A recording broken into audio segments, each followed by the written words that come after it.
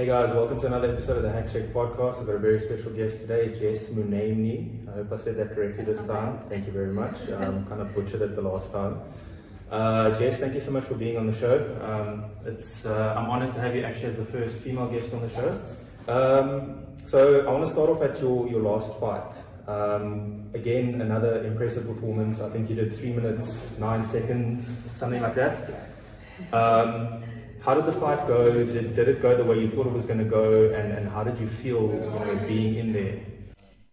Yeah, uh, I felt great. Um, it was yeah the most alive that I've that I've felt in a fight. The most kind of um, what's the word? Just things just flowed. Like I felt completely in yeah free in flow. Um, thing not very little thinking, which was great. Uh, I think a lot of the times in previous fights I've been very aware of my thought process. Like time slows down and I can feel myself thinking like this is what's happening, this is what you need to do. Whereas with my last one in particular, it was just kind of it just flowed really well. Um, did it go the way I thought it would go? Yes. Well, it was kind of how Mike saw it going down. With the previous fight, with my debut, um, we thought things were going to go a certain way, and my previous opponent, Crystal, I think she she took my previous fight footage to heart, and they they changed their game plan. So with her, all her previous fights, she came like rushing in and then made the takedown like very much viable and very mm-hmm. quick and easy. And and with that, with our fight, she tended like she wanted to be on the outside and was a little bit more tentative. Um, with Haiti, we thought that she would rush in. We thought that she would go for like the bully choke type of setup. Um, but at the same time, if they had watched any of my footage, they would have seen that that was not be yeah, a good yeah. idea. Yeah, mm-hmm. but it went exactly like that. It was probably easier than what I thought. So it was it was exactly how it needed to go down. Yeah, it was awesome, uh, awesome performance, awesome finish, particularly uh, the mounted triangle with the elbows. Um, can't imagine it's too fun to be in that position. It's bad enough without the elbows, but uh, with the elbows raining down, it's uh, exclamation point. Yeah. Um, obviously, before the fight, you know, the whole Wayne situation happened. Uh, what exactly happened that led up to that point? You know. Um, and and was there sort of like an animosity between you guys up until that point, or was it like just out of the blue that that, yeah. that had happened? It was. It's interesting because there was literally zero animosity. Like we hadn't even made eye contact yet up until that point. Um, but we were following each other on Instagram for a while. And what I generally do is if it happened, because I do follow a lot of potential opponents on Instagram, um, and generally like a couple of weeks before the fight, I start to feel like maybe I'm getting, maybe I'm t- I've got them two in my head because I'm watching all their stories and let me stop. yeah, let me stop worrying about them and, and just unfollow them for a while. So I we did that. I did that, and um, because she's because she's Egyptian, we're both Muslim. I was like, I had a different idea of how it was going to go down. I was going to like welcome her to my country and speak mm. to her in mm. Arabic a little bit, and like I think I was being particularly friendly, or the plan was to be particularly friendly. Um, and so the weigh-in happened, and the first kind of thing she did is she stepped forward and she put her fist like on my face. Mm-hmm. And I was like, oh, okay, that's the first time That's someone's put, put their fist on my face. Cool, I'll let that slide. Like I'm just, and it, you know what, the whole weigh-in thing, I think for guys, it makes a lot more sense. This is very much like I'm going to show my dominance and like we're going to both pee on trees kind of thing. Mm-hmm.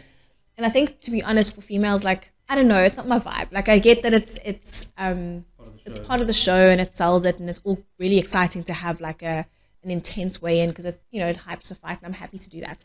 Um, but yeah, it's not really my style to to showboat too much beforehand. I like mm-hmm. to, I prefer to do my talking in the cage and sometimes afterwards, mm-hmm. and then you know, and then that's that because the reality is that you can look really dumb mm-hmm. and if you if you act too stupid before. But at the same time, there is this this need to um, assert your dominance to a degree, right? It's, the, it's the first time that you're looking inside, probably the first time you're looking into your opponent's eyes. So often you can see a lot. Um, with, again, my previous opponent, Crystal, like her eyes were shaking at the way. And I was like, oh, okay, I see you. So you can, you can read stuff. Um, so I'm looking into Hades' eyes and like she's stone cold, like she's not, there's no nerves. And I'm thinking, cool, this is impressive. You're young. She's like 23. You here for the first time. EFC's become my home I'm new to the organization as a fighter, but I've been around them for a really long time. So I feel really comfortable there. So this is all I'm thinking all of this while mm. we're busy staring at each other. Um, and then she steps in and puts her fist on my face. And I'm like, okay, cool. So you're going to touch me. Fine. I'm going to let that one slide. So as Graham is like shake, um, clapping his hands, like, okay, cool, it's done now. Um, she puts her forehead on my head. And I'm like, right, so now I have to assert some dominance back because now. Sorry, I saw your uh, switch. The moment that happened, I could see your facial expression change. Yeah, I was You're like, oh, something's gonna happen. I was like, cool, you touch me once, I can let that slide. But like the second point of contact on my body, like now I need to do something back. Mm. Um, and in the moment, I'm like, shit, what do I do? Like, do I do I push? Like, how do I how do because I've never had this before, and mm. there's a part of me that like, yeah, wants to be that good sportsman type, and the other one is just like, dude, you just you touched me. Anyway, so I push her back a little bit, and she loses her mind. She like shoves me. Not what I expected to happen. A lot of people said it looked like I tried to kiss her. In hindsight, I think next time maybe I will try and kiss. I think that's really throw the person off completely. Yeah. Yeah. Um, but yeah, so I wasn't braced for a push, um, and then went straight back over the scale. My um, arch of my foot somehow scraped the the scale, and it just flared up like straight away, super super swollen and blue. Um, yeah, and then Mike went off and swore at the coach and whatever, and then we left after that. So that was that was that. Um, yeah, and it I think it threw me off for a moment just because I had expected more sportsmanship, and that's my own fault. I think if you always assume that anything can happen, then you're ready for it, and I will be next time. Um, I've just never had it before, and all my fights, there's the vibe's been pretty good, um, and yeah, I've got I've actually got friendship relationships with most of the of, of my previous fights, whether regardless of how the result has gone, like we're all good. So yeah, I think what what happened after that was just trying to stay composed and not you know let the weigh in affect how I fight, um, and that was quite difficult because it became the talk and it, it went I don't know about viral, but there was certainly a lot of talk around that weigh in, you know. Um, in hindsight, it was perfect. In hindsight, I told the, p- most perfect story ever because it created the story around like a bully and how the bully needs to get put into her place and all of that stuff. And it got a lot of eyes onto onto the fight. I think the last time I checked the Facebook uh, video, it'd been uh, like 2.2 million views. Jesus, yeah. there. So whereas my previous fight with Crystal's only on like 300,000. That's impressive. So so that's obviously because of how the fight went down, Mm. but I think the the hype from the weigh-in definitely put more eyes onto it, and the fact that she was an international opponent, so she's got you know her country viewing Mm. it as well as as us. But it was interesting to look at the two fights and how the one you know just got so much more legs than the other one because of a little bit of you know Yeah, pushing and stuff at the shoving. weigh-in. Yeah. How badly was your foot injured? Was it a hindrance in the fight at all, or was it more just kind of you were pissed off about the whole situation? Uh, both. It definitely, I definitely felt it. Um, it was. I felt like, I, like stepping onto my lead leg was a little bit, you know, and just stuff that you don't want to feel before a fight. So, um, EFC wasn't exactly like they didn't really care about it. They were like, okay, well, just you know, strap it up and put some ice on it, you'll be fine. And I was like, cool guys, you guys really care about your athletes. Thanks. So no repercussions for her. No, nothing. Uh, and like love them, and I get you know it's a business at the end of the day. Um, but I did message Graham about it, and he was like, "Well, I hope you're going to be okay. Just put some ice on her, strap it up." And I was like, "Cool. I'd like some of her purse. Like, what's Yeah, happening?" yeah. And uh, you know, crickets. I didn't get any response. But it's what EFC needs. They want that. So they want fights hyped. They do offer incentives for for hyping the fight, like cash bonuses and stuff. And I think Haiti took that to to heart, where she was like, "Cool, I'm gonna make a statement and, and hype this as much as I can." And I think she tried to do that, you know, at the weigh-in, and obviously her walk-in was very dramatic as well with dancing and cartwheels and whatever. So she was doing whatever she needed, which she, she felt she needed to do. Um, so yeah, there was a, a level of hindrance, but once you get to that point, it's just like, well, you know, if I don't have a foot, I'm fighting tomorrow because we're here now. But there is the risk of, you know, there have been fights in the past, even at UFC level, where people haven't been able to to make their fight because of you know weigh-in um, Yeah. shenanigans, and it's it's a fine line between hype and stupidity. Yeah, look, I mean, one of the biggest fights at the point of all time was the biggest fight of all time, Conor McGregor and Nate Diaz, where Conor McGregor slapped his hand away. I think it was Nate or Nick Diaz, I can't remember which the brothers were saying, like, it's the biggest load of bullshit that he's able to, that Conor was able to do that because if Nate breaks his hand, that fight's off. Yeah. You know, and it's, it's, it's, I understand that they're trying to build it and, you know, get eyes on it, which it did do, like you say, Yeah. but if you had broken your foot and couldn't fight, the fight's off. Yeah, So there exactly. goes the money for the organization for that. Um, but, I mean, it is a fine line because it's like it's a fight, you know, and and you probably already have so many emotions going through. I mean, I've never, I don't fight, so like I, I don't know what what must be going through your head, but like, I, c- some people react differently to it, I'm Yeah. sure, and, and maybe that's the way that, that she reacted. But um, yeah, maybe they can just move the scale the next time so that if there's Yeah. a push, you know, you're not tripping.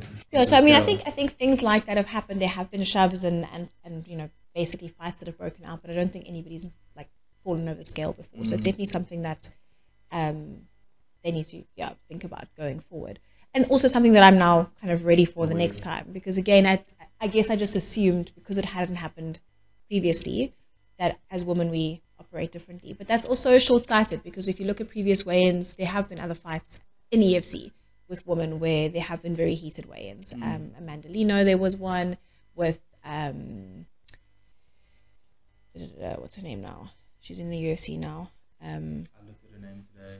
Her na- yeah, me too. Yeah. Which, yeah, Um, the strawweights, not yes, the yes, flyweights. yeah. Um, who fought in EFC? Um, the Sh- Cheyanne, Cheyanne Mhm. Vlismas. Yes, there we go. There was a very, very heated fight, uh, weigh-in with her as well. It actually went down very similarly to how our weigh-in went down. Um, so it's not like it doesn't happen, but yeah, I guess I wasn't prepared for it. And I think in terms of how I could have reacted, to be honest, I think I've sat, I've, I kind of sat with it and gone like, was should I have not? You know, so you can you can question yourself: should I have not pushed back? Should I have just stood there? Like, would that have been better? What reaction would have been the better reaction? But it, it's just one of those things that in that moment you Yeah, your body react. takes over. Yeah. Yeah. And um, are, are you guys cool afterwards, or do you care to be cool? You don't really. I mean, No, it was that was the interesting. The other interesting that came out from the press conference. So obviously, my reaction after the fight was awesome. That was like an out of body experience. It's it's very interesting because everyone was like, "Oh, that was insane!" And I went, "That was so cool. You should do that after every fight." And I'm like, "Guys, I've never done that in my life before." Like the moment just took me, and I think, um, whatever emotion I needed to suppress to be clear minded in the fight, because I don't fight well angry. I've had one fight, my second amateur fight. We had beef, and I hated the fight. I hated the camp. Um, I didn't enjoy it. So after I won, I was just like, I want to go home. You know what I mean? You don't want to feel like that afterwards. So I know I realized in that where some fighters need to have, they need to hate somebody to fight, and they need to have the story and the beef and all of that. I actually just fight better when it's not about that and when it's just about my performance. Um, so I think whatever I had to suppress to get through the the, the fight kind of um, level headed came out the way it did. Um, but it feels like that was a different person that was ex cross chopping and Where did you see that before? Was it was it from the the, uh, the, the um, contender series, or did you So see it on think- wrestling? no, so I- probably a bit of both. So like I did grow up with WWE, but yes. but at the same time, um, yeah, uh, watching um, the t- recent TUF with Juliana Miller who won, uh, that was obviously what she did after her. So maybe that was in my subconscious somewhere. Um, and interestingly enough, that went around on, on Instagram. So somebody picked up and, and made the you. two. So we Yeah. now follow each other, and she's yeah, she's cool. So that's quite cool as well. But it, it was just a, a thing that Mm. happened. Um, after my second amateur fight, when I beat um, the girl that we had um, beef with, I as I stood up because it was a very not as beautiful, but second amateur fight, it wasn't beautiful at all. But it was a similar dominant um, TKO in the first round. And as I kind of stood up, I kind of like pretended to kick her. Okay. So it's interesting to look at those two fights and go like, mm, obviously animosity after the fight reaction, you know, that, that happens without me maybe being conscious about it. Yeah, so you learn a lot about yourself when you fight. Like there's, it's what I love about fighting is how real and raw the emotion is. You can't. It's very difficult to pretend to be somebody that you're not in that moment. Um, so whoever whoever my opponent was or how, whoever she is that comes out so like that's her in her natural like being. And similarly with me whatever came out after the fight was very much just like raw and real emotion. Um so to answer your question yeah we're not cool. Um Okay. we, we're not she doesn't she's she's behind me like now. whatever. yeah she's Yeah. behind me now. But graham brought it up quite a lot where he was like oh when the guys fight and they have beef then after the fight they hug it out and everything's cool. But when the ladies fight it's not cool. And i'm like mm, it's not that because i'm mates with all my opponents. Mm-hmm. like that's fine but yeah she her It's what transpired before. it's what transpired before. I can't respect her because of that. Uh, Mm. like she doesn't really um, register as anybody in my world right now. So I still don't follow her on Insta- Instagram. Like she's behind me. Mm. Um, we're not going to be mates, and I don't think you have to be mates with everybody. Do I hate her? No. Like, do I wish her well? Cool. Maybe we can fight again one right day. down the. Yeah, go win some fights and come back. Yeah. And and going forward now, have you got a fight uh, scheduled next, or are I you still wish. looking for one? Because I mean, okay, two fights in total hexagon time, what like under six minutes or something like that. I mean, it's Yeah. it's it's definitely under ten minutes. Yeah. Um, so I mean, dominant performances. Is a title shot next? Do you think? Um, what do you want next? Yeah, it's been an interesting it's been an interesting journey. I'm really excited to just be busy. So I'd love to have another fight this year. I'm begging for another fight this year. Um, it seems like it's quite difficult to find an opponent. So we were hoping to fight in November. They haven't come back to us with anything concrete yet. Um, they did offer me a very experienced opponent who's a flyweight. Um, and it just it doesn't make sense to fight upper weight category with somebody who's had like four times the amount of fights as I've had um, for not a title. Yeah. So she, this particular opponent was somebody that they were like going to build me towards and potentially fight for a title at strawweight next year, and then they've put her forward now, no title, heavier weight division. I'm like, well, what's then? Then if I beat her, then what? really? Yeah. Yeah. Or if if I for so the, all this all the odds are stacked against me. Cool. If I do beat her, then who do I fight for the title? Like who's next? So I think they yeah they're needing to figure that out. I want to stay active wherever that is. Um, it's it, it's interesting because I'm older. I feel like I'm fighting this like time battle where I feel like maybe I've got two years to you know to do this as much as I can. Um, where a lot of other fighters maybe are happy having two fights in a year, it just doesn't feel like enough for me. So I really would like to squeeze the juice out of this journey Yeah, as much as I can. Yeah. Um, uh, that was going to be one of my questions a little bit later, is if you would be able to go between the, the, the, the weight classes. Um, is it a struggle for you to cut down to, to 115 pounds, um, or are you quite close? I mean, Yeah, so so I walk around at flyweights. I'm walking around like 57 if I'm like really enjoying life. 58. Um, so it's not a struggle at all. Um, it's always been the weight that I've that I've fought at. I think the only time I've struggled to make the weight is at nationals at amateur level where you have to weigh in every day on on the day. So you you weigh in on the same day. So I made the weight, but it wasn't fun. Um, yeah, I, I think I'd be comfortable fighting at a catch weight. I would consider a flyweight fight if it was for something. Um, like if I don't know, Ultimate Fighter was coming to South Africa and they were only casting flyweight flyweights, I'd be like, cool, let's let's do Go it it. because it's tough. Or Yeah. you know, if it was a really big opportunity, then I would take the risk and hang with the bigger goals. But we've got some really good flyweights in the gym, um, and I'm not the same size as them, so I can feel that. You know, you know, you know when you just kind of know Yeah. that that's not the weight that you're at. Um, so could I could I do it? Sure. Does it make the most sense for me? Probably not. Um, not just for the sake of fighting, if that makes sense. Yeah. Hundred percent. So, when did you actually? I think Mike said yes, uh, yesterday you, you started training about five or six years ago. What made you switch to to go from? Because I think you did a, a like a corporate job kind Yeah, of before. What what made you say I want to go do I want to be a fighter? It's an, it's an interesting one. So I mean, I was doing I've been doing jiu-jitsu for a long time. So on and off ten years. Started the jiu-jitsu journey to get back into shape after having a baby, and then started competing. Um, and it was at a time when there just wasn't a lot of competitors, especially not in Cape Town. And having a business, having a family, traveling for you know for, for competition just wasn't really viable. So I quickly started running out of girls to compete with, and um, so it was three and a half, four years ago, 2019, which is when I decided to have my first MMA fight. We've been talking about it for a while. We were like, "Mm, maybe a boxing fight, maybe something. And um, then I had beef with this girl who owned another, Audrey. We don't have beef anymore. Audrey Baker, she's Gideon Drotsky's fiance. And um, we both kind of were female gym owners and we had a little bit of beef. And we were like, hey, friendly beef. We were like, hey, we should do a charity all women's fight event and raise some money for like a gender based violence um, organization. Anyway, that fight didn't materialize in the end as my first fight. She pulled out and I ended up fighting somebody else. But what it turned into was a, yeah, a charity event.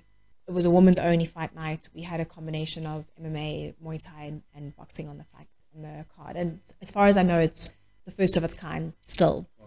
I'd like to do another one, like a ladies only event. I think they tried to do a boxing one recently, um, but you know that was four years after we did it for the first time. Um, and the bug bit, like after that, I was like, "Fuck, this is this is amazing! Like I love this a lot." Um, I hadn't really done any stand up up until that point, and I hadn't sparred up until that point. So there was no contact outside of jiu jitsu until I started training for that MMA fight. And it's ugly. Like I look back at it now, and it's the game plan still kind of the same: is evade punches, take down, finish on the ground. It was also a first round um, TKO Mm-hmm. with a very ugly ground and pound. Wow. but it was yeah, it was an, an, an infectious, awesome experience, and the bug just just bit bit from there. And it wasn't always that smooth. So my first two fights went exactly like um, this last fight went, and then I went and lost twice, and those losses hurt a lot.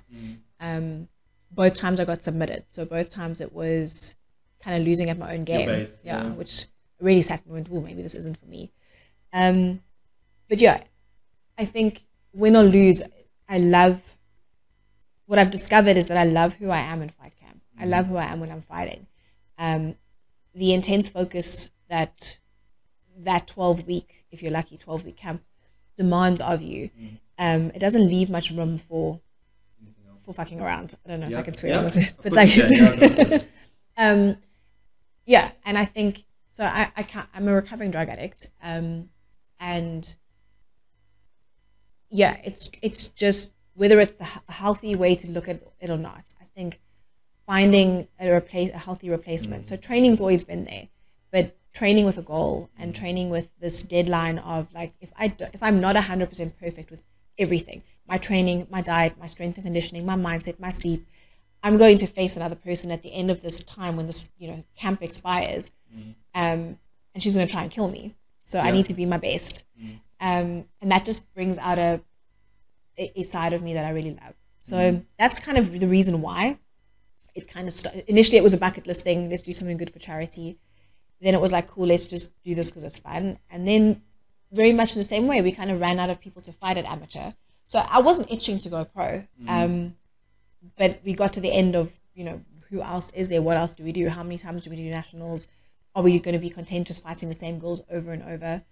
Um yeah and then And, and then it was like then it was just do one pro fight because it'll be fun bucket list things and now i'm mm. like i want to go 3 and 0 i want to i want a belt. I want whatever i can get As out of it you You- can go. yeah. Mm. And it's not that there's any massive you know end goal necessarily but it's just like let's see what we can get out of this because it's mm. it's a lot of fun good place to be because you can focus on the moment i think because if a lot of people maybe get wrapped up in what's ahead you know like if you've got this many steps let's say you want to you want to be the ufc champion one day and there's 10 steps in between. Yeah.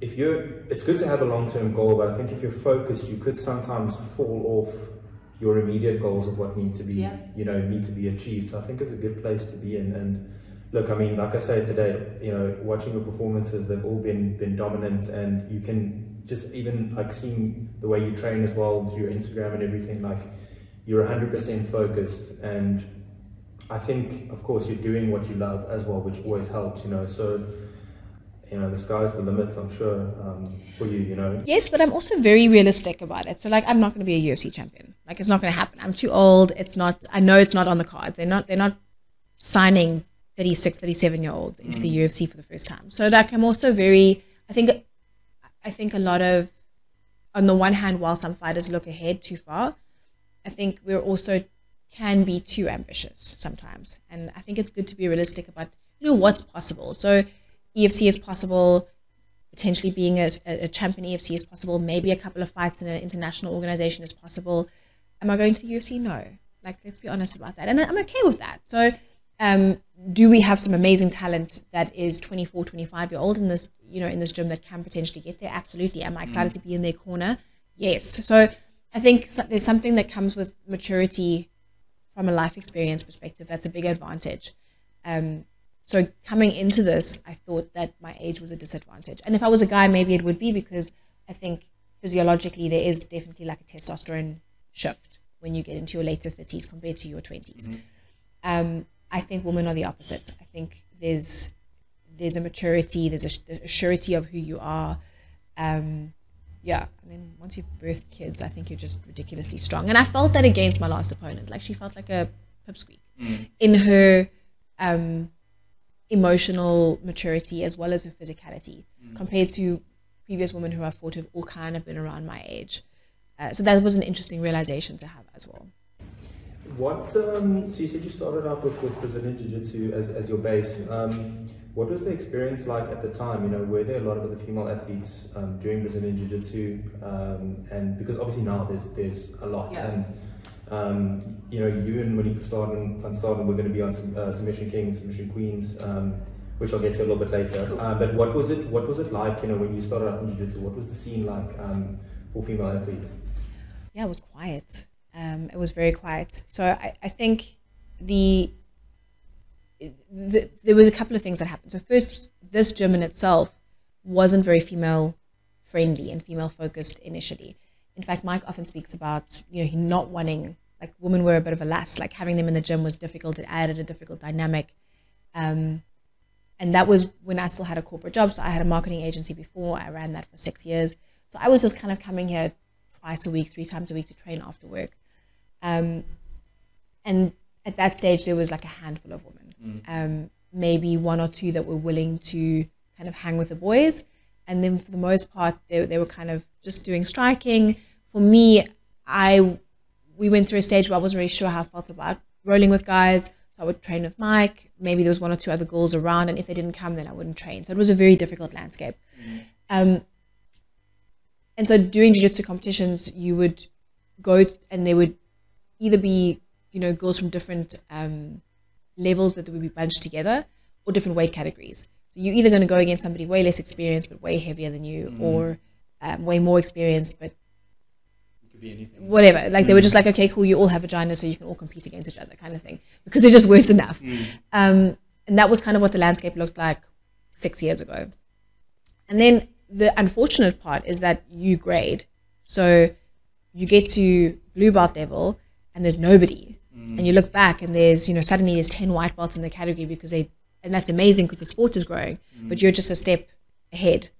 Um, and that's kind of where we ended up. Is as I got to the end of my blue belt, it was like, oh, there's nobody left.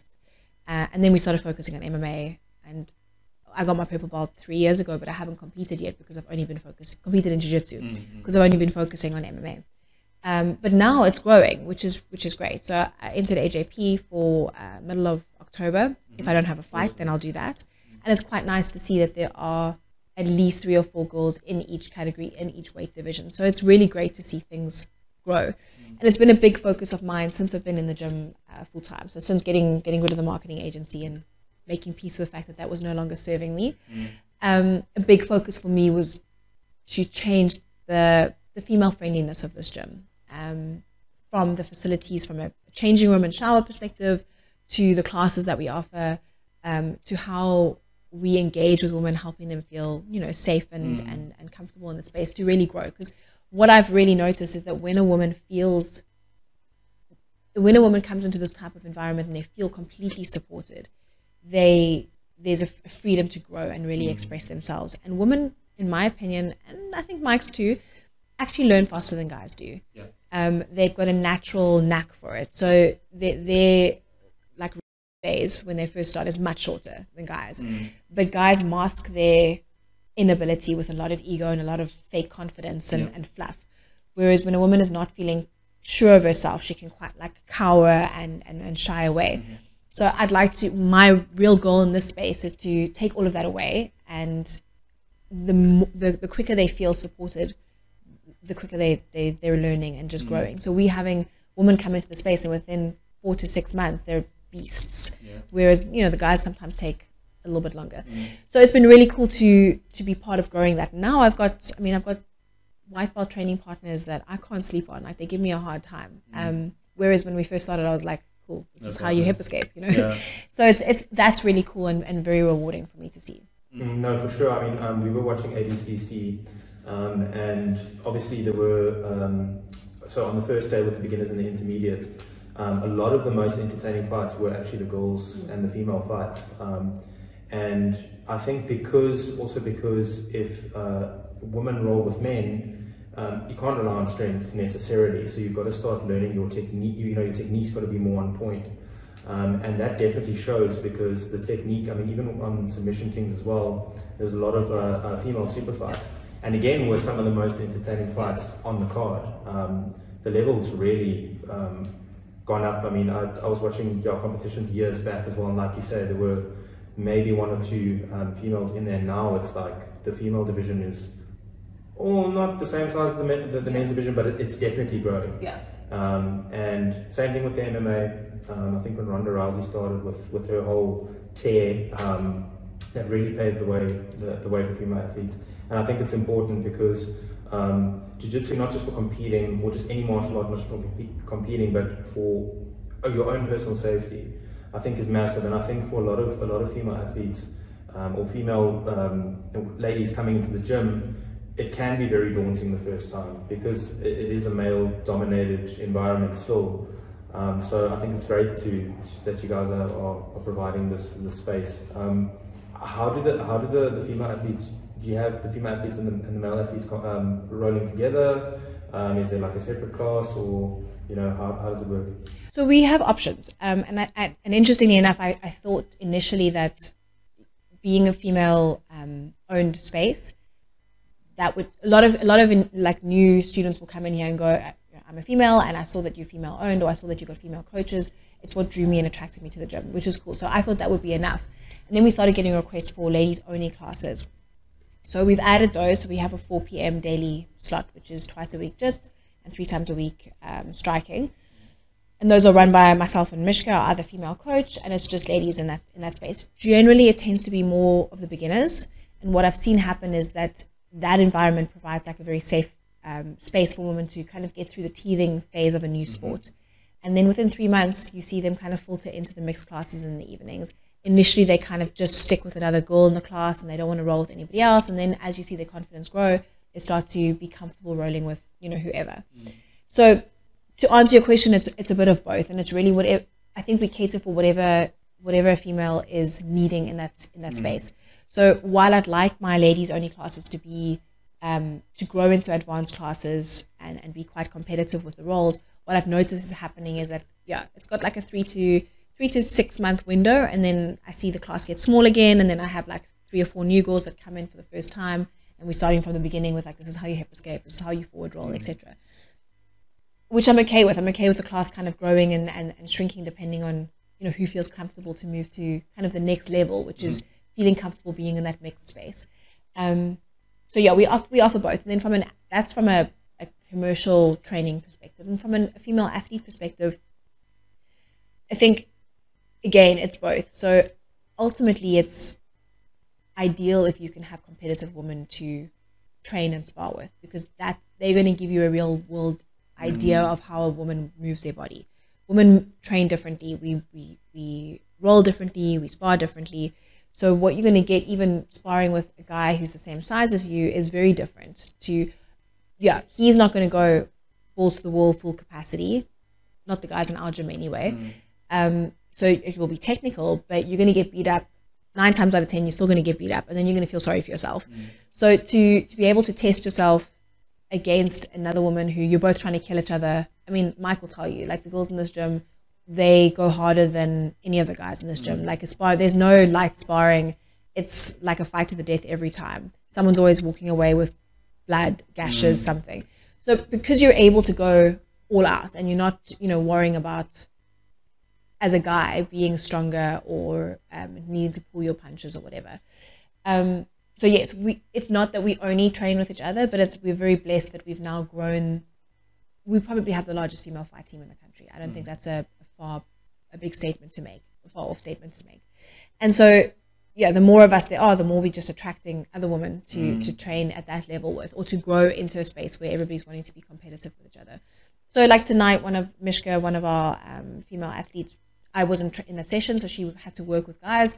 She would have walked away from that, you know, had a good session, had some good moments, but probably also felt quite frustrated because mm. even if she was working with a guy who was the same weight as her, he still got more muscle mass, he still got higher mm-hmm. testosterone, etc., etc. Yeah. So it's definitely more competitive when it's a bunch of ladies working together.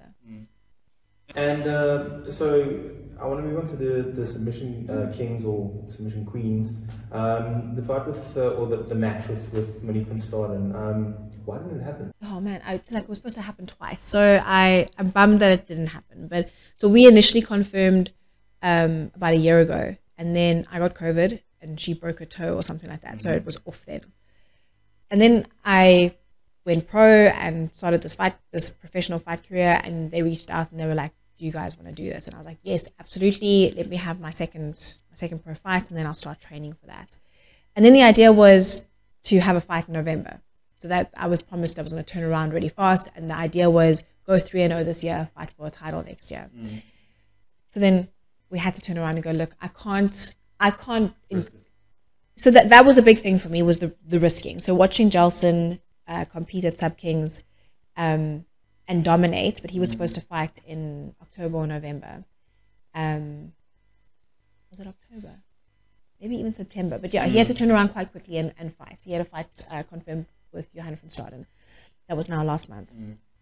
And um, he buggered up his knee and then had to pull out of that. He luckily got uh, paid for um, for the winner takes it all. So he walked away with some cash. So the fact that he wasn't able to then fight was fine because at least he, he got paid. But he still lost lost out.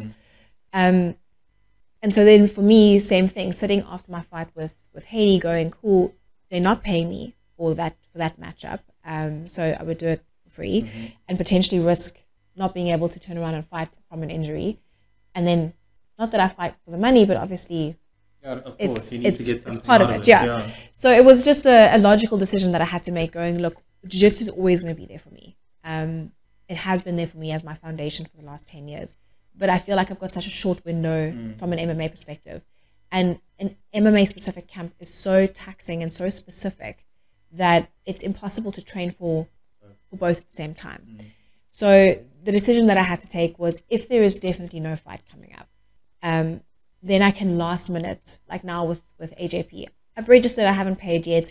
I've got a little bit of leeway. I can go, there's definitely no fight booked, and I can make a decision within, without being too attached to it. Mm. You know, within a couple of days, go, okay, cool, let me go and play there just to stay competitive if there's no fight coming up. Mm. But two, I felt quite guilty to take the spot away from another female who could who could who wants that Yeah. to potentially drop out last minute or to make Monique train for something and then it doesn't happen and they can't find a replacement. So I thought, let me take myself out with ample enough time that mm. somebody else can train and get ready for it.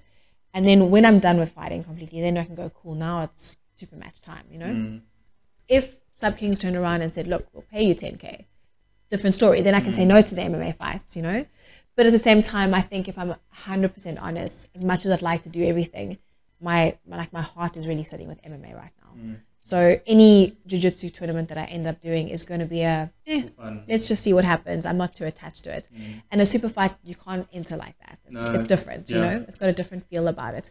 Um, and Monique's tough. I respect her a lot. I think she's she's a really solid competitor. So I would want to give that camp 100%. 100% what it needs, you know.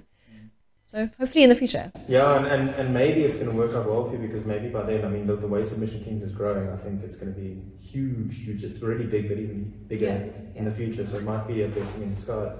Um, so you said that the limited time for MMA. How, how long realistically do you do you think you'll fight, and how long do you want to fight for? Have you not put a timeline on it Uh, yet? or- I, I, you don't have to say if you don't I, want to. I have, and I um, kind of keep Changing it. So I'm like, oh, 18 months. And then six months go by. I'm like, oh, two years. So I think I've got my own stuff to work through in terms of what it means to be an, an older female athlete. I think as women, you know, we already have this issue with our age where, you know, you get to a certain age and people feel like they can't ask you how old you are. So I think there's already like outside of MMA, there's already stuff around being older. Um, then you put yourself in a young person's sport as a female and it, it makes it even, you know, more difficult. So the reality is, and, and this is something that Mike keeps saying to me, is I, I haven't, I'm not Holly Holm, right? She's 38. She's been fighting for like 20 years or whatever. So she's got high mileage on her. So she's older, but she's older from a damage perspective as well. The body's older. So she's 38 going on 50 in terms of her body. Um, I'm actually a baby in the sport. So I've only been doing this for three and a half years. So I'm low mileage in terms of damage. I haven't been knocked out. I haven't had a concussion. I haven't broken anything.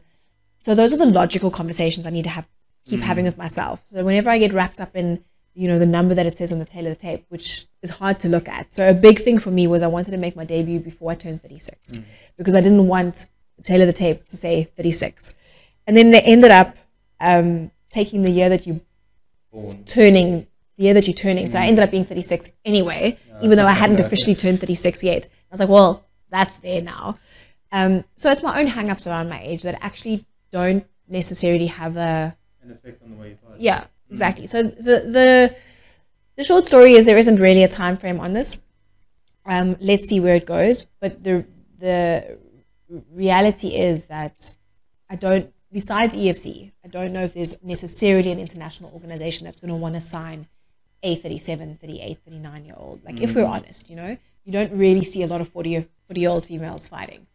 Um, Well, look, sorry, you never know. I mean, look at look at. Uh, I think they signed. Okay, Yoel Romero was an Olympic wrestler and everything, but I mean, if, if you're doing well enough um, and you've got a big enough name and following, and you're actually putting still putting people away. I mean, I think they signed Yoel Romero at 39 Yeah. or 40, it Yeah. might be. So you never know. I mean, it's an open book. It could it could still happen, but it, it seems like you're taking it step by step, which is good. So again, focusing on the next task at hand rather than just being all over the place or focusing further ahead. So.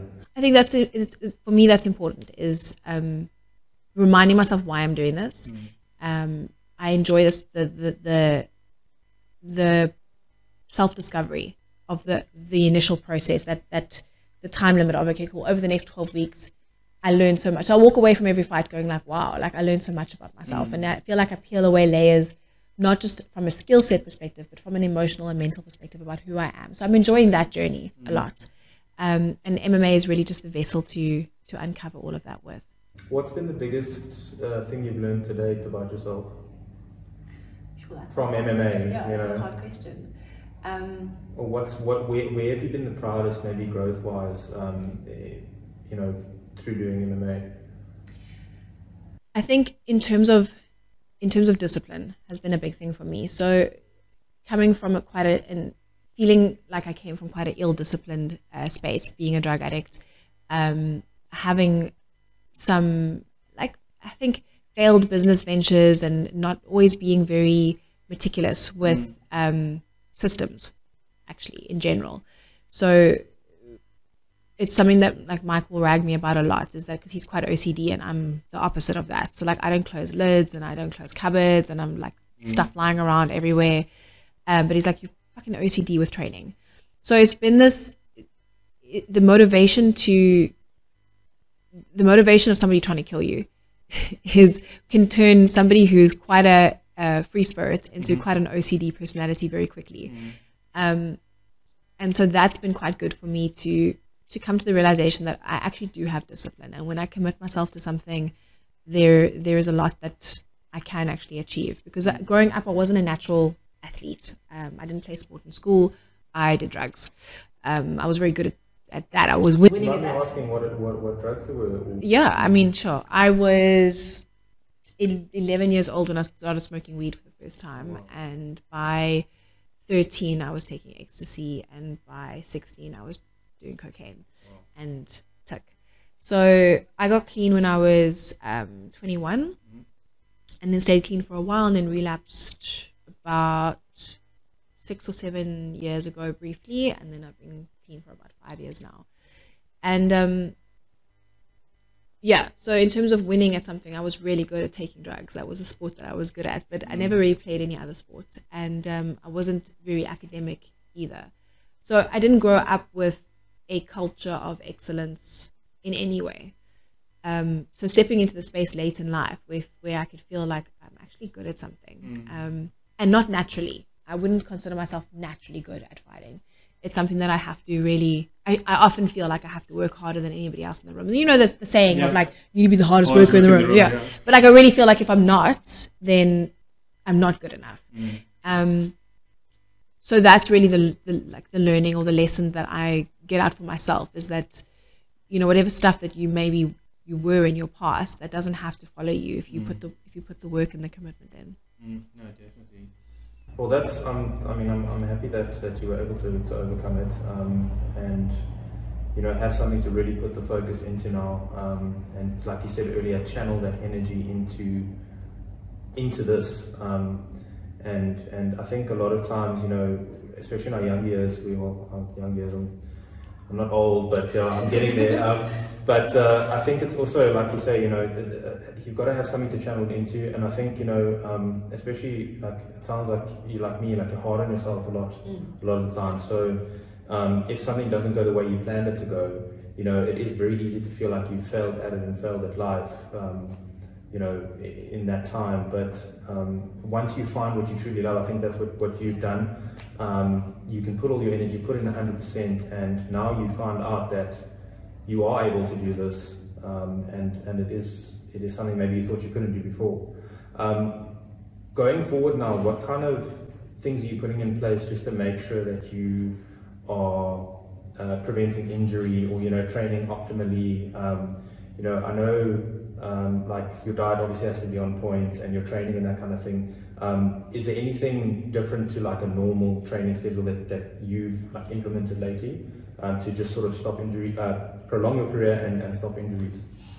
Sure, stopping injuries, that's an interesting one. I haven't really thought necessarily about that. Um, we've been quite lucky with not having too many injuries up until this point. So I think just generally training as smart as, as possible. But I do, I say that, and the reality is that I tend to overtrain. I think we all do. But um, for me, uh, it really, it's, it starts and stops with diet primarily. So I find that when my diet's on point, everything else falls into place. So sleep is better, training is optimized, um, your recovery is optimized. So your everything else is prevented is prevented kind of through diet. It's, it's, it's how my what my experience has been. So um, I three I think three or four years ago I did a um, certification in primal health coaching. It was during COVID, so it was 2020 uh, spent lockdown getting certified as a primal health coach, and that was a really profound um, course for me because I learned a lot about, you know, just why why eating things that are grown in the ground or were actually alive um, can really be a game changer for your health. And since then, um, I've gotten kind of deeper and deeper into it, and I would call myself animal have a, following an animal based diet or carnivore. Yeah. Um, so really prioritizing um, animal protein and some fruit as carbs, and that's been a real game changer for me um, from a mental clarity perspective, from a recovery perspective. I try not to be too preachy and like culty about it. Um, I'm not definitely not liver king.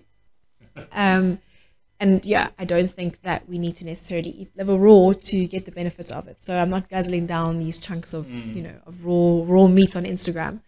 Um, but when I'm, I think a lot of fighters tend to be, and why they relate to like a Paddy Pimblett, for example, is because a lot of fighters are like that. So we go through these phases of severe calorie restriction um, and restriction of all the nice foods that we want to eat, and then Like we all or nothing approach, yeah, and then we binge like animals which afterwards. all or nothing on the opposite side. Exactly. And, you know, a lot of the time you're saying to yourself, well, as long as I can make weight, as long as I can get my weight under control, none of the, you know, nothing else matters. But the damage that you're doing to your body, because these guys aren't necessarily stopping training, they're just training on terrible fuel tanks. So you're training on alcohol, on processed carbohydrates and sugar. Um, and you, the body can't function and repair itself and, and um, you know come back from that as as well. So what you're getting from your training at that point and the pressure and the stress that you're putting your body under trying to operate at that level with all that inflammation mm. is is detrimental. So i think look i'm not perfect but for the most part when i'm when i'm being good and i'm optimizing my diet in a way that serves my body the injuries aren't you know are non-existent. But on the days where i have binged and i have gone and eaten pizza or sugar and stuff you can feel the inflammation in your body straight away like, like i've become so in tune with it so that for me is my kind of secret weapon and my game changer is um, yeah a primal diet an animal-based diet So what what exactly? So I know you said you got fruits as well, but like I, you know when I hear animal based diet or what I've seen or like carnivore diet and stuff, it's it's just red, uh, just meat Yeah. in general. So is it is it red meat or what, what types of meat is it, and what can you add to it? Cool. So initially, when I kind of started on this journey, I would say I was a little bit more keto focused, low carb focused. So kind of still eating lower fat um, meat, you know, quite a lot of fish and chicken, and then getting into the kind of sh- keto treat space. So eating a lot of like carb free desserts and things like that, which is all processed crap, if we're honest. Um, and then as I kind of moved more into understanding what what carnivore was, initially carnivore was just about eating meat. So you're still going to operate in that low carb keto space because you're not taking any in any carbohydrates. And as I started following um, Carnivore MD a little bit and, and how he speaks about, you know, his initial carnivore journey was to combat um, autoimmune diseases. So when you go completely carnivore and you're only eating red meat, uh, so he would eat uh, predominantly beef, grass-fed, organic, free-range um, beef, and then maybe a little bit of um, game and, and things like that. The reason they tend to stay away from things like fish is because of how polluted the ocean is, so Yeah. high mercury levels. And the reason you would stay away from chicken is because most chicken, it's very difficult unless you got chickens on your own farm to find grain-free uh, chicken. Most most chickens are, are fed grains and are kept in some yeah and, and and kept in some kind of cage, so they're not free to roam and eat worms and whatever. Um, so generally, it's beef and eggs, uh, like your, your predominant uh, focus. So if you're just eating that, you're not getting any, any carbohydrates, which is great if you are if you have autoimmune disease or if you're sedentary and you don't need carbs to, or if you're obese. But if you're an athlete and you're training, you need carbs. Yeah. So I went through a couple of my amateur fights trying to be keto and running on no carbs, and I thought I felt fine. But if I look back at my weigh-in pictures now, I definitely don't look as, as, as strong and as good as I as I feel now. At the time, I felt like I was surviving quite you know quite well in, in my sessions, um, but now I just feel like I'm on a different level completely. So following him in particular and how he's added fruit as carbohydrate. So the theory is that fruit growing on trees, being colorful, um, having you know seeds that need to be spread, the fruit kind of wants you to eat it. So it makes it easy, easily accessible. It's sweet, it's tasty. So the theory is that your veggies, especially like cruciferous veggies like broccoli and spinach, things that grow in the ground, they've got a lot of um, chemicals that they emit to stop animals from eating them. They don't actually want to be eaten. So you can actually get quite you might not realize it, but you can get quite sick eating. So a lot of a lot of people will complain about a lot of gas if they eat broccoli, for example. The reality is that we live with this kind of baseline of aggravation in our bodies often, and we don't really know that it's because of the food we're eating. We just think it's normal to be farty or to mm. go through periods of constipation and diarrhea or whatever the case is. And so through studying this, I'm realizing that actually those things aren't normal. That's your body going, I don't like eating broccoli or I mm. don't like eating spinach. So right now my diet is after playing with it and seeing like what so as you start to take things out, you start to realize really what's aggravating you. And it mm. might be slightly different for you as it is as it is for me. But what really works for me is animal animal protein. We do a little bit of chicken, but I kind of keep chicken more for when I'm cutting weight. Um, so if I'm not cutting weight, then it's predominantly beef, some lamb, um, lots of eggs, and lots of fruit for for carbs. Um, I barely eat veggies. Uh, I might do a little bit of spinach here and there if it's like in a soup or a broth or something. But I think the fighter diet of uh, chicken and broccoli Yeah. is something I'm very very happy to see the back of. To be honest. And fiber? What? What? So are you getting enough fiber from the fruits, or So you get plenty of fiber from the fruit, um, but you'd be surprised this theory that we have around how much fiber we actually need. Like things move very, very. So there's a lot less waste when your body wants everything that you're eating, and you'll notice this, especially like vegans. We'll talk about like how often they go to the toilet and like how much they need to eat and how much needs to come out. It's, I can't believe this is where we, what we're talking about in this podcast. But yeah, when you when when your body's taking in everything that you're that you're putting in your body, there's actually not that much that needs to come out, and it comes out quite easily. So you don't need a lot less fiber to move things along. Um, but fruit also has plenty of fiber in it. and uh, okay, last thing about this because it's a little bit wayward. Um, protein, protein wise, um, are you doing like two two gra- uh, two grams per pound or Yeah, what- so what I do- About two k two k two grams per kg. So probably a little bit more because I don't actually weigh 60 kgs. But in my mind, I ride myself off to 60 kilograms, and I aim for minimum 120 grams per day. Um, but I, I actually walk around at 58 kg, so I'm doing quite a quite a lot more protein than than that. Um, and it's really easy to get that amount of protein. So when I have a couple of health coaching clients, and often the feedback I get is like, "Oh, I struggle to eat so much protein. Like, can I have a protein shake?" And my answer is cool. Like, if that's what you want because it's easy to put together um, or because it's an affordability issue, then by all means. But you can't think that just Good because, places yeah, that just because the macros are there, that it's going to be as good for you as eating a steak. Um, I'm actually yeah, my I'm gonna make T-shirts one day that say "Just eat a steak" because, to be honest, so much of our health problems can be solved by just sitting down and eating a good steak. Mm. Yeah, I've seen that quote before on your, I think on your Instagram. That'd be a good T-shirt to make. Yeah, Don't know Uh, the vegans will love you. Yeah, you might get some activists outside here. Um, one of the things I've seen you've been quite vocal about is the, the whole story at the at the CrossFit gym. Um, I don't know 100% what happened. Um, do you, yeah, what, what exactly happened there? Um, do, you, do you know the people? Or, Yeah. I mean, So, so no, um, I'm sorry, and, and I know why it would, would, would annoy you so much because you guys are trying to create such a safe space Yeah. here, um, and that seems to be the complete opposite. Yeah, it was a. It was so interesting how the whole thing went down. So we had the article shared on one of our uh, WhatsApp groups here. I had no idea who it was, but I initially saw it and straight away because it was shared on one of our WhatsApp groups. I thought maybe it's an MMA gym, um, and then one of our members who does CrossFit was like, "No, it's it's this particular CrossFit," and I was like, "Okay, cool, that's interesting. I'm gonna leave it at that." Then I realized that I actually knew somebody who coached at that particular CrossFit. So I thought, let me reach out to her. What if she was the victim? So I sent her a message going like, "Hey, one of our members sent us this. I heard it was this CrossFit. Um, are you okay? I know you you train and teach there." And her response straight away was, um, "I only know what's been on our WhatsApp groups, and um, I know the I know the, the the person in question really well. Uh, I don't want to get involved." I was like, "Look, I wasn't messaging you to get the scoop." I'm not interested in the skin. I actually just want to know if you were okay. Like, were you the person that was filmed? So the story is that a cell phone, uh, that this guy uh, put his cell phone inside the ladies' bathrooms and was filming a member who I've since found out is only 19, uh, showering. And um, she then saw the phone and thought it belonged to somebody, and then saw that it was filming, and that's how the whole thing came out.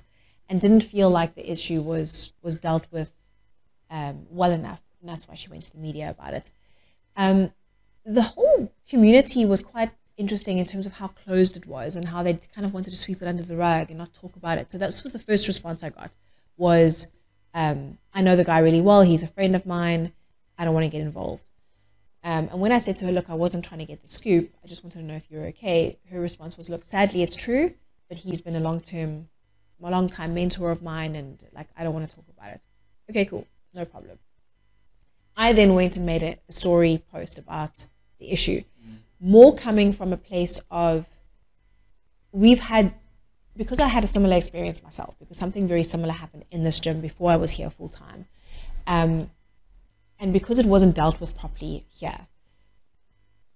That person who did it here, there were signs. That individual spoke about women in a certain way, behaved around women in a certain way. They had extracurricular activities that were unsavory. So when it happened to me, I kind of felt like unsupported because the, the signs were kind of there already. So my my post on Instagram initially, which was on my stories, was a little bit blamey without me trying to be blamey, saying like, how did his circle not see this type of behavior coming? You don't just wake up one day and film somebody in the shower. There are other kind of, I feel like there's a bro culture that protects um, behavior, whether it's catcalling, how you speak about women in your gym, uh, whatever the case is.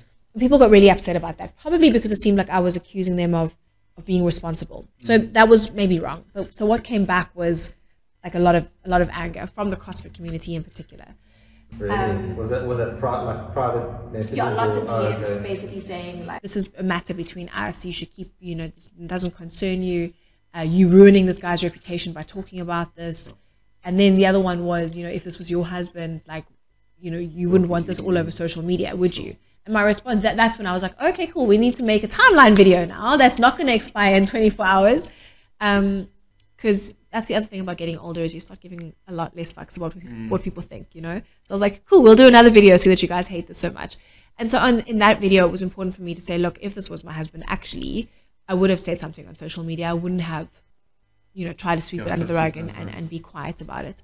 Um, and yeah, then in that same time, what really kind of pushed me over the edge was um, Rachel Khaleesi did a very similar Instagram story that was the opposite of what I was doing. So she happened to train at this gym, and her Instagram story was, "So guys, I want to get fit for summer, and I need some friends to train with. So I've opened up my slot at 8:30 in the morning for all my fans to come and train with me.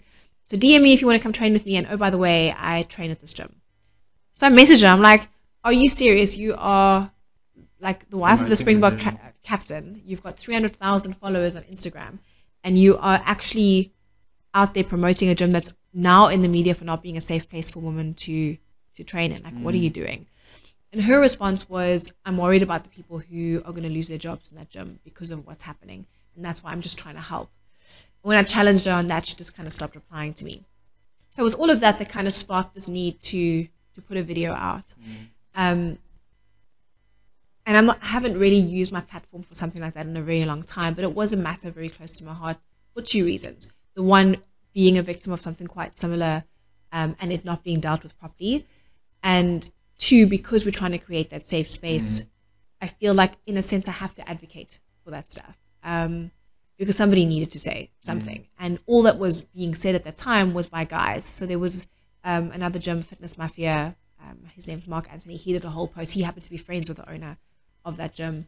So he did a whole thing and then he ended up doing a whole bunch of pieces of content about like how you correctly spot a woman without touching her. Like trying to, you know, like sex educate yeah. or not sex educate, but like educate um, other male personal trainers on how to be with, you know, how to interact with women, which is great. That was for him to do, wasn't wrong. But I felt like we needed to say something. Yeah, which is which is what we did. And then a lot of a lot of people, uh, I don't know if you what the NGL stands for on Instagram, um, but where you can do things anonymously. A lot of a lot of guys actually came came forward and said, you know, I think you put a, you put something up about um, a time where, and I think at the Yeah. beginning uh, a lot of ladies uh, misunderstood it, but it still put awareness on it. But Yeah. it was to sort of say, you know, was there a time where you might have done something inappropriate, Yeah. no judgment, um, and and completely anonymously, and, and quite a lot of people actually came forward with that. Yeah, I think I would have liked to have seen more, but uh, it was a big ask. So the the question exactly was that was you know we we've held so on another occasion when there was a big gender based violence focus um, nationally, we actually held a little uh, talk with our male members where we we had we spoke about gender based violence and times you know what cons- what consent actually means and times when maybe as a guy you have overstepped that cons- you know consensual boundary without realizing it. So maybe pressured a girlfriend when she didn't want to have sex or whatever the case is. So we, we've we've held these types of discussions because it's been something that's been very close to my heart for a long time. So with that in mind, the, the post on Instagram was about um, yeah, was there a time when you've maybe um, overstepped a boundary and not realized at the time that you'd overstepped a boundary and then later kind of come to a realization. And um, yeah, I got a lot of trauma instead. It was just a lot of women complaining about times when they were sexually harassed and raped. And I was like, wow, I was silly for thinking it was going to go any other way. Because that just sums up the problem in our country, right? Yep. Um, but yeah, what, so even though 80% was that, it was really refreshing to get a couple of comments and even from one female. So I got a comment from one female saying um, there was a time when she feels that she pressured. So she she Does she pressured a boyfriend or something? no no no she hired a, a personal trainer Okay. who she had a crush on, and through paying oh, him Yes, yes, yes. through, Yeah. through paying him, she, She felt like she him. pressured him because he didn't want to lose the business. Yes. So he ended up hooking up with her, Mm. which was quite interesting for me um, to, to read that. But yeah, so there were a couple of gems that came through with guys that had realized things, and there was um, the one guy that trains here, Ty- uh, Tyler, who is in the tattoo space, who spoke about the tattoo industry Mm-hmm. being quite toxic. So I hope that through that I was able to just use the platform that I have for a little bit of um, retrospection and and to to start a conversation. So actually, I come from a journalism background. Um, I worked as a radio journalist for a very long time, so I I used to do a lot of talk radio debates and and have people you know thrash out ideas. So I'm used to people shouting at me for stuff. Um, and then I moved into the marketing space, and now I'm here. So every now and again, it's nice to kind of dip my toe back into into that space. Yeah, into that.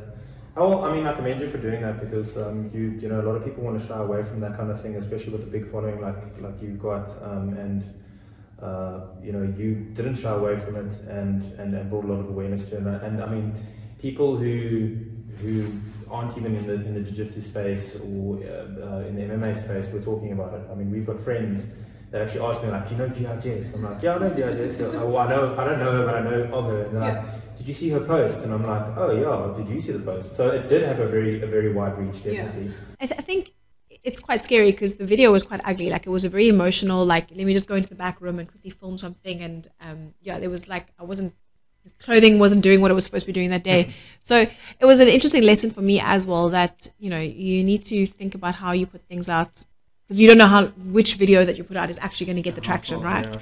Yeah. So it wasn't the prettiest video, but it's fine. It served its purpose. Yeah, no, definitely, definitely did. Like I said, a lot of people talking about it that I, I don't think would, would, would know, you know, being outside the space. Um, I think I always ask this question um, at the at the end of the show. Um, any any final words or any any words of wisdom for everybody listening at home? Look, I think I'm not sure, you know, who's going to end up listening to this, but uh, for me, a big, a big message, or if I'm going to leave any kind of legacy behind when I'm done with fighting, um, I really want people to believe that they can do whatever it is that they set their mind and their heart on doing. So it's never this idea of like it's being too late um, or you being too old.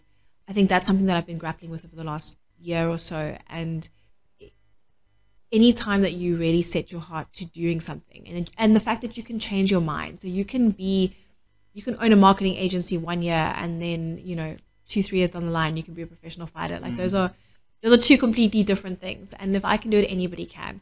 I think a lot of the time. Um, we make a lot of excuses for why our health isn't as optimal as it can be, or um, why they why we can't achieve our goals, whether it's to be a pro fighter or to run a marathon or whatever it is. Um, we tend to put a lot of like bullshit in the way because it's it's actually quite scary to go out and achieve that thing. But literally, there is no there's no excuse. There's no amount of children or amount of hours spent in a business or for a boss that can actually viably take you away from doing the thing that you want to do. If you really want to do something, it can be done. Um, so if I'm ever going to leave any kind of story behind or legacy behind, like I really hope that it would be like, wow, she really she went out and did all of that, and if she can do it, so can I. Well, so far that has been the story, and, and I look forward to what is going to happen in the next next couple of years. Uh, look forward to you also becoming an EFC champion, hopefully a double champion. Um, and yeah, I hope we can do this again sometime in the future. Awesome. Thank you so much. Jess. That was a lot of fun. it. Thank you. Thank you.